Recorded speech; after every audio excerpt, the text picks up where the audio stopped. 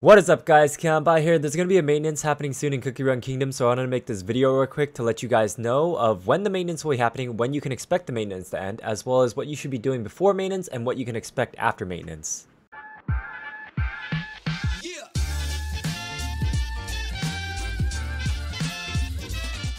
Alright, so to start off, the maintenance will be happening October 28th, 6 a.m. all the way until 11 a.m. GMT plus 9, which is essentially Korea time. I highly suggest you guys look up exactly what time it is in Korea. You can simply go into Google and go and say what time is in Korea and find out what time it is in relation to yourself.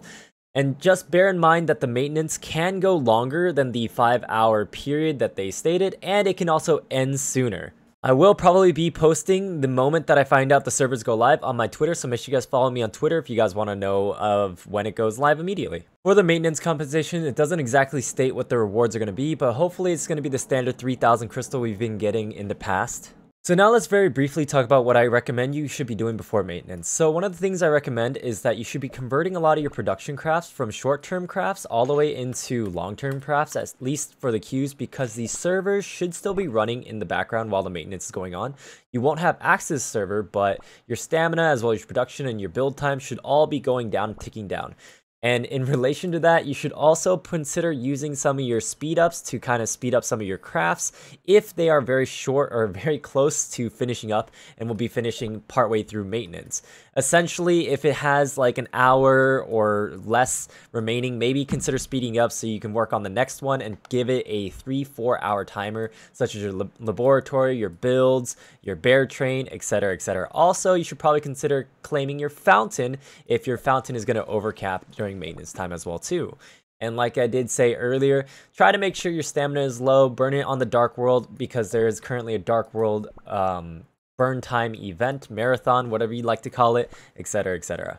Now let's talk about what you can expect after the maintenance. I did talk about most of these in my other news video, so make sure you guys check that out, but we'll quickly go over it for those that didn't go and watch that. So you're going to be getting your compensation for all the errors detected for Twizzly, Alchemyst, and Toxic Mushroom. If you guys have not leveled these characters, make sure you guys bring them up to at least level 30, and if you guys want to make them higher, feel free to take them to a higher point. Just note that level 30 is the optimal point for the EXP jelly refunding and try to get their stars as high as possible.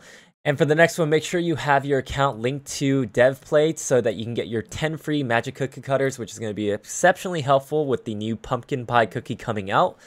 You do have to do this right before maintenance ends, or right before maintenance starts. As you can see here, you do have to have it done by October 28th, 6 a.m., which is the maintenance start time. For the next one, the Mala Sauce Cookie event will also be ending for the promotion. You will have to have starred her by this point as well too. If you give Mala Sauce stars after the maintenance, it will not count for this promotional event here.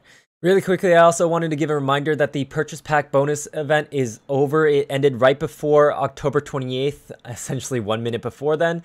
And the rewards will not be given out until October 29th, essentially tomorrow. For those that are curious where the heck their rewards are for this event, make sure you guys do not purchase packs after the maintenance, expecting you to be getting refunding or purchase pack bonuses or rebates.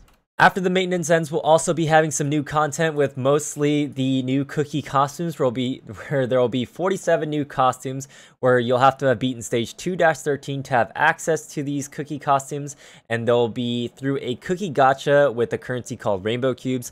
I'm going to assume that free-to-plays won't be able to get all 47 new costumes because there'll probably be rainbow cubes featured in a lot of the packs and new packs after the maintenance is over. There will be cookie costume stories as well too, where it states five new cookie costume stories will be added. Collect the costume sets and earn buff effects. Collect new costumes from a set to unlock additional buff effects. There will be a new treasure as well called the Seamstress Pincushion, which will be epic.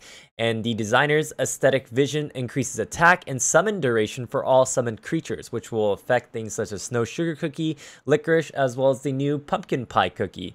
The probability of getting an epic treasure will remain at 1% even with the new treasure added, which means that they're essentially just raising the rate of epic treasures as a whole, probably lowering the rate of commons. Hopefully they're not going to be lowering the rate in which you get rares as well too, because rares are pretty useful in my opinion And now for the big one. For those that don't know, there's going to be a new epic cookie called Pumpkin Pie Cookie coming out. Let's first read the skill description as well as the cookie description before we talk about the cookie. So Pumpkin Pie Cookie is a magic cookie that uses the skill Pon Pon Help. Its skill description is Pumpkin Pie Cookie's Pom Pon grows to a giant size causing area damage. For a given period of time, Giant Pom Pon inflicts melee area damage to the maximum of 3 enemies and applies a non-stackable debuff, decreasing the amount of healing the enemies receive. While on the battlefield, Giant Pom Pon increases attack speed for all allied summon creatures. Giant Pom Pon will be more resistant to interrupting effects while performing the first special attack. Also, Pumpkin Pie Cookie can use her decreased first cooldown to use the skill sooner. Pon Pon is resistant to certain interrupting effects. Summon creatures resistance effect details. Certain interrupting skills equal taunt, stun, shackle, silence, charm, skill interruption. So if you haven't seen this video from the official Cookie Run Kingdom YouTube, I will be linking in the description below, but you can see here that the Pon Pon will go and knock enemies up, which is going to be a great thing, such as Mango Cookie. It's going to be a great interrupt, which can interrupt skills such as Twizzly Cookie, and you'll see here that the developers are pairing uh, pumpkin pie with uh, licorice as well as snow sugar cookie. I think pumpkin pie cookie with licorice will be a pretty meta setup as well as pumpkin pie has a lot of potential since the knockup is a very good interrupt so that you can get your skills off before they do, put your skills on cooldown. People have been theorizing that Pumpkin Pie Cookie could potentially compete with Tiger Lily in the meta because the knockup, the increased speed for uh, other summons such as a Licorice Pump pure vanilla combination, as well as a lot of different things Pumpkin Pie brings to the table. So I highly suggest you guys save your magic cookie cutters if you guys still have some, as well as your crystals, because Pumpkin Pie could be a very, very good pull for a lot of players, for story as well as for PvP. All right, lastly, let's talk about the improvements, changes, and additions. So the first one is that in the Tropical Soda Islands, when your first set of cookies is fully sun-dried, it'll automatically move onto the next set of cookies, so you don't have to manually pick up the dried cookies before it moves on to the next set. For the next one, the summoned creatures will now carry over the buff, debuff stats of the summoner relevant for the moment of summoning, which essentially probably means that the summons will snapshot to take whatever buffs they have. So let's say Licorice has an attack buff for two more seconds. The summons will have that attack buff fully throughout the duration of their summon, even though Licorice's buff will be ending. Same goes with debuffs as well too. Snow Sugar Cookie's Snow King will not disappear even after the cookie becomes incapacitated, which is going to be a great thing because Snow Sugar Cookie could die and Snow Sugar King or Snow King will keep on spewing, especially with Pumpkin Pie Cookie, making it a little bit more viable. A new gauge will be added to keep track of Cookie's transformation time, such as Tiger Lilies, I assume, or maybe possibly just Werewolf.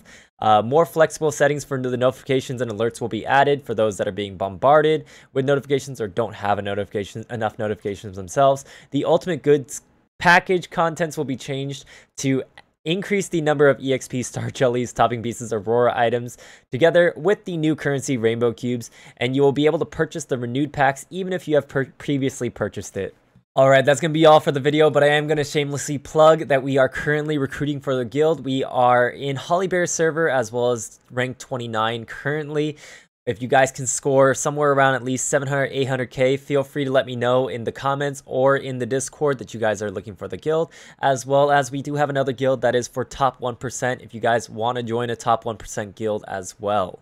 Alright, thanks again for watching. Make sure you guys leave a like, comment down below how many magic cookie cutters as well as crystals you guys have saved up for Pumpkin Pie Cookie. Make sure you guys subscribe for more Cookie Run content as well as Genshin Impact content.